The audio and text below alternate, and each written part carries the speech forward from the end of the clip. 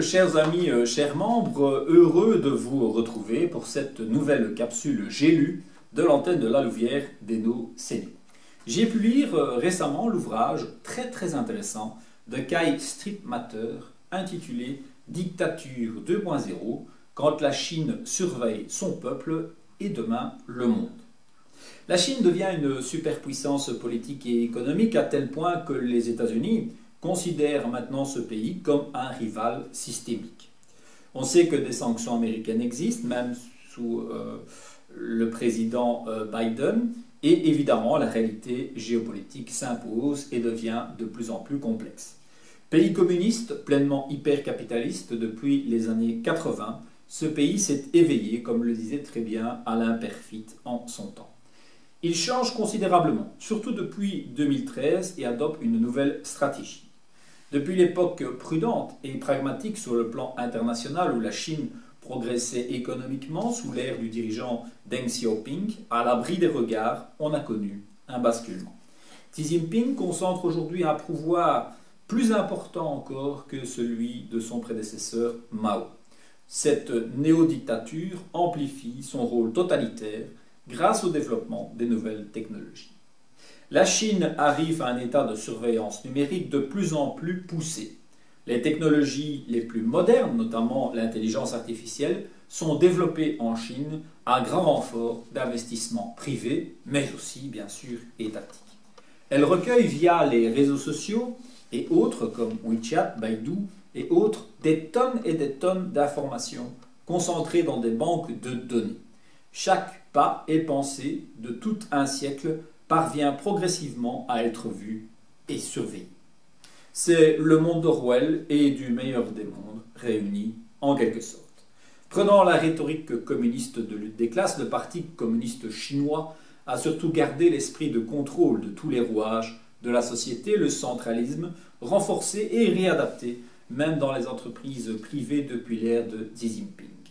Dans ce monde où quelques esprits indépendants commençaient timidement à se faire jour entre 2007 et 2013, le Parti communiste chinois reverrouille à nouveau la société, avec tous les risques que cela évidemment comporte. L'objectif total de surveillance de la population qui se fait jour se fait maintenant au travers du fameux crédit social, un système de bonus-malus décerné par le bureau du parti pour les conduites de ou des citoyens.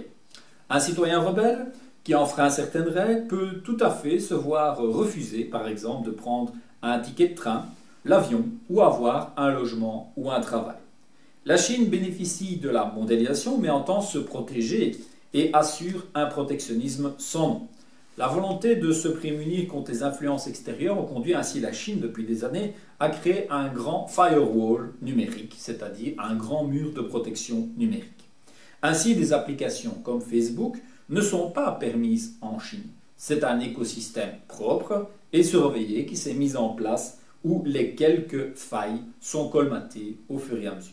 Cette Chine nouvelle qui se profile entend créer un contre-modèle aux démocraties libérales pour d'autres pays et mettre au pas ce qu'elle qualifie de minorité et récupérer bien sûr Taïwan.